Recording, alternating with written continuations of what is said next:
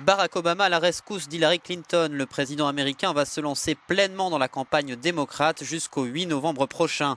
Vendredi, lors d'un meeting à l'université de Floride Central à Orlando, il a appelé les jeunes à voter pour Hillary Clinton s'ils ne veulent pas devoir renoncer aux progrès accomplis pendant ces deux mandats. Je ne sais pas pour vous, mais je ne suis pas fatigué.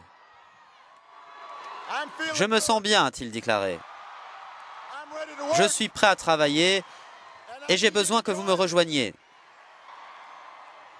Donc je suis ici, en Floride, pour vous demander de travailler dur, comme vous l'avez fait pour moi, pour s'assurer qu'Hillary Clinton sera la prochaine présidente des États-Unis.